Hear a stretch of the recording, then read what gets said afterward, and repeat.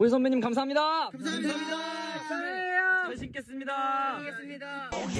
Oh mama, oh mama, oh mama, oh mama, ay, oh mama, oh mama, oh mama, oh mama. 韩国娱乐公司 Pledis 时隔快九年推出新的男团 Two-Os，在准备正式出道之际，招来了公司老板、制作人以及师兄 Seventeen，像是考核班，在他们面前表演舞台。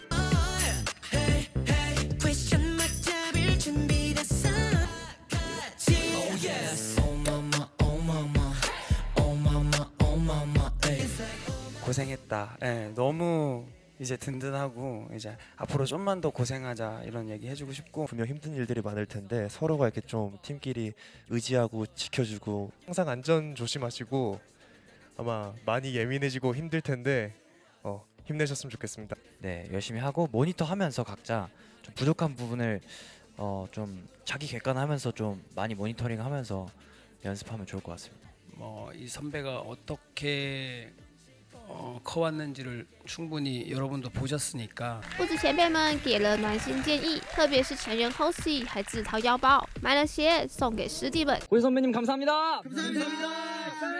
잘 신겠습니다. 更是情谊相挺，一起跳了 challenge。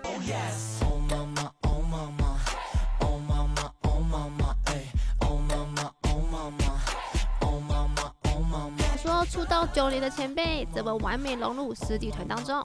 布拉采风组整理报道。